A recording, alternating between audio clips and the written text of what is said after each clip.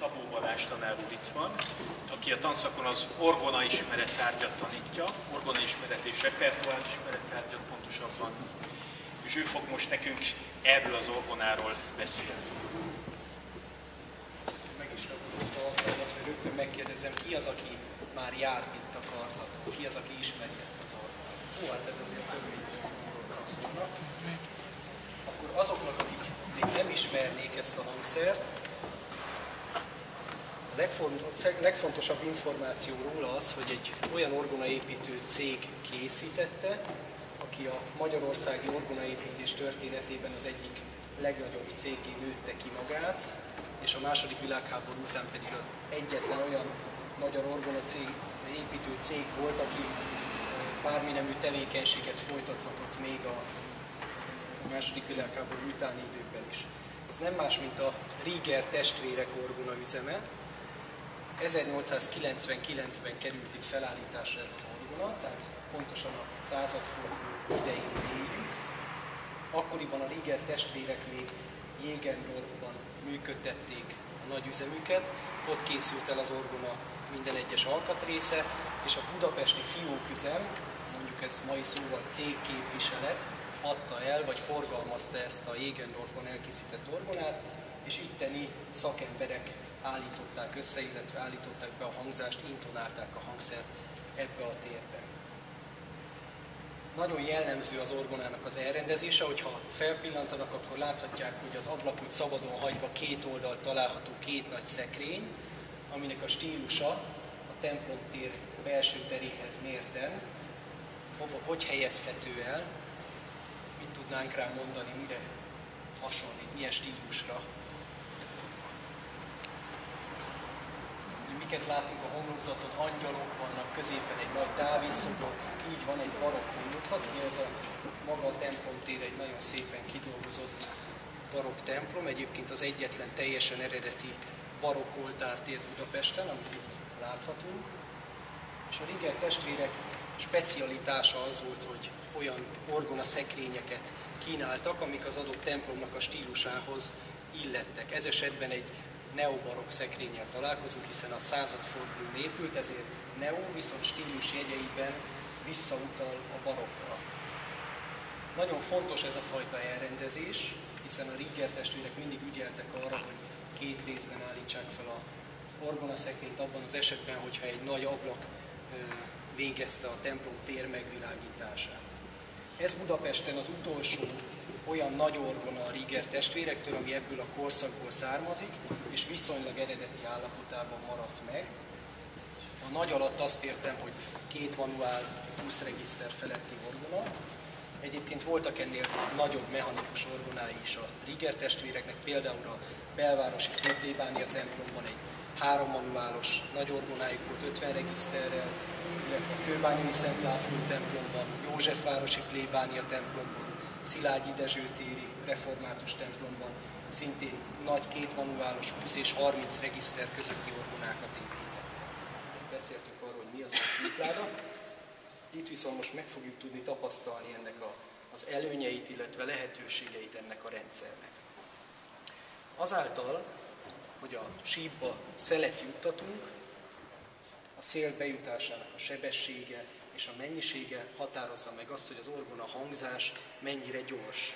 Milyen gyorsan épül föl egy sípban a hangom. Ez a csúszkaládánál, mivel egy nagy felületet záró szelepet egy mozdulattal tudunk leszakítani, az első pillanatban viszonylag nagy mennyiségű levegőt juttatunk be a sípba, bárhogyan is billentünk.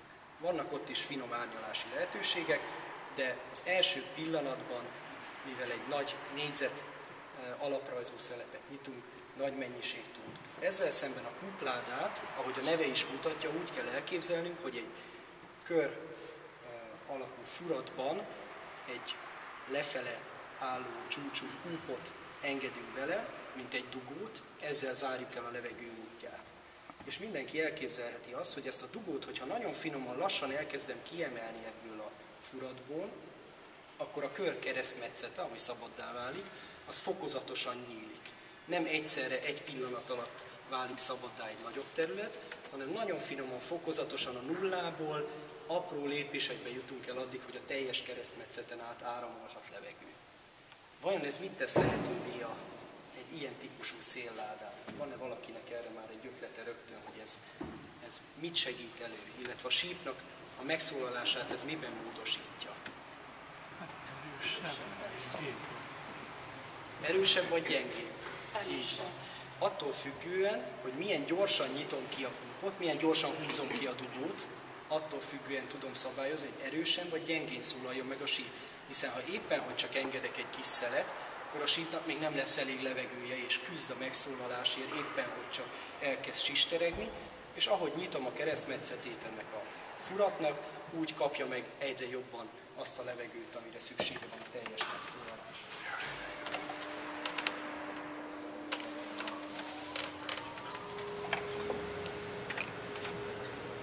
Ezt, hogyha egy hang esetében akarom ismét demonstrálni, úgy, ahogy ezt a bakteremben is tettük, mindenki emlékszik, hogy ott egy, ugye a hangnak a rövidsége volt az egyetlen, amivel tudtam manipulálni. Tehát, hogyha azt akartam, hogy éppen, hogy csak megszólaljon, megszólaljon a síp, rögtön el kellett kapni újra. Itt ezzel szemben elég, hogyha csak azt a trükköt használom, hogy a billentyűt csak éppen, hogy egy picit billentem meg.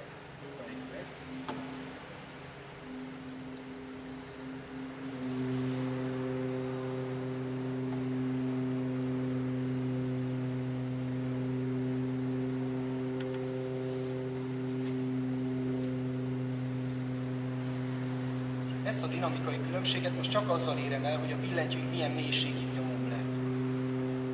Hallja mindenki, hogy a hangzás erősödik, illetve most visszagyengítem a megszólalási gyorsaság. És egy olyan regiszteren fogok játszani, ami elég gyors.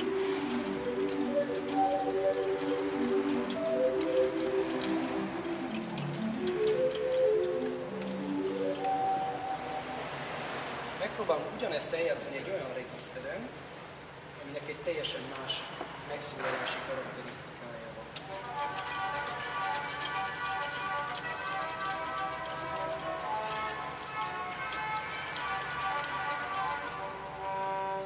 Mi történt most? Nem szólalt meg mindenhol. Ugye csak akkor szólalt meg, amikor elég ideig mondta. Akkor ez vajon mit jelentett? A Lider testvérek félmunkát végeztek. Ugye?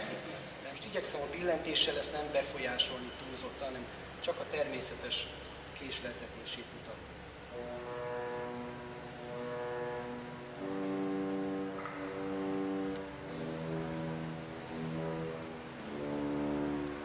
Hallja mindenki, hogy van egy olyan egészséges indulása, mint hogyha egy vonós hangszert hallgatnánk, ahol kell egy kis idő arra, hogy egy mély hang meg tudjon szólalni, amíg a teljes rezonancia. Ugye az az alapszabály, amit már a bakterembe felállítottunk, minél nagyobb egy síp, annál több időre van szükség a megszólaláshoz, minél kisebb egy síp, annál gyorsabban szólal. Most, hogyha még egy oktával mélyebb regiszterre térek át, ez a violonbass 16 lábas, ugye a regiszter név az mire utal a violon 16. Így van, milyen hosszú a síp, ezáltal milyen mély a hang, és a violon, vagy violon bassz az vajon mire utal? Így van, nagybőgőre, nagybőgőre mutat, hiszen ez egy olyan orgona, amiben minden egyes regiszternek a karaktere valamilyen zenekari hangszernek a tulajdonságaira reflektál. Így most a nagybőgő következik. A nagybőgő az általában gyors, virtuóz szólókat szokott játszani? Nem. Nem. Lassú, basszus hangokat. Hallgassuk meg, hogy ezt a Riger testvérek hogy fordították le orgonára.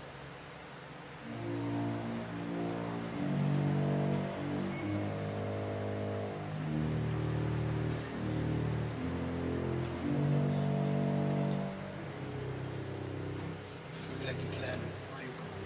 Megszólal egy bélhúda, egy jó hangú. Megszólalás sebességével.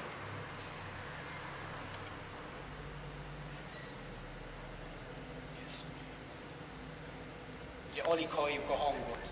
Halljuk, hogy ott van, tere van, de nem halljuk konkrétan, hogy pontosan milyen hangot van szó.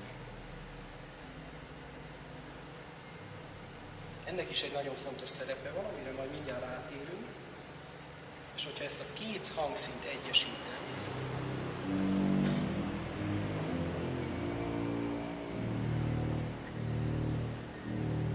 csak a violonbassz, most hozzáhúzom megint a szubbasszust,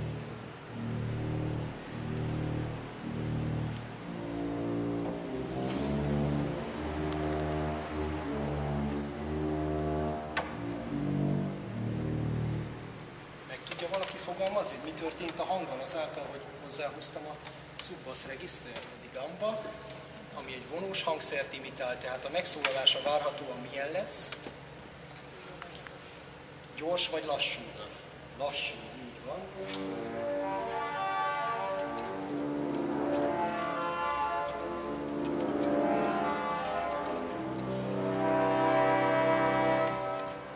Ezt a hangszínt szeretném összepárosítani az ellentetjével, ami egy fuvola. A fuvola az, rögtön megszólal. Tehát ahogy, ahogy leütünk, billentyűt, ugyanez a gambár,